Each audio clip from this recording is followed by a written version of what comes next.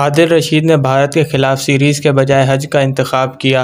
राशिद अपनी अहलिया के साथ हज की शहादत हासिल करने के लिए आज सऊदी अरब रवाना हो गए। इंग्लैंड के star leg spinner Adil Rashid ने इंकशाफ किया है कि वो इस साल हज करेंगे, जिसका मतलब है कि वो भारत के खिलाफ इंग्लैंड की वनडे और टी ट्वेंटी सीरीज़ से बाहर हो जाएँगे। Leg spinner domestic team Yorkshire cricket club के साथ साथ अपने मुल्क के लिए भी दस्तियाब नहीं होंगे।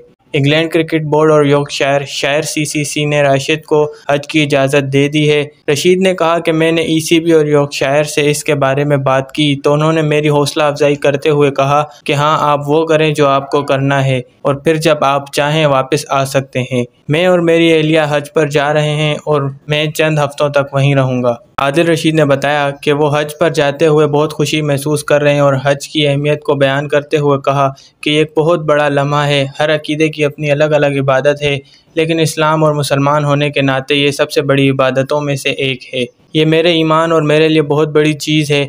मुझे लगा कि मुझे हज करने की ज़रूरत है, जबकि मैं जवान और मज़बूत और सेहतमंद हूँ। ये वो चीज़ है जो मैंने अपने आप से वाकई में अहद किया है कि मैं करूँगा। उन्होंने मज़ीद कहा, इंग्लैंड की टीम में सब मुख्तलिफ़ पस मंज़र और मुख्तलिफ़ ममालिक से हैं, लेकिन हर कोई एक दूसरे का साथ देता है और बड़े पैमाने पर एक दूसरे का एहतराम करता है। मज़ीद वीडियोस देखने के लिए हमारे चैनल को सब्सक्राइब कर दें और बेल आइकन प्रेस कर दें ताकि इस तरह की मज़ीद आने वाली वीडियोस सबसे पहले आप तक पहुँच जाएँ।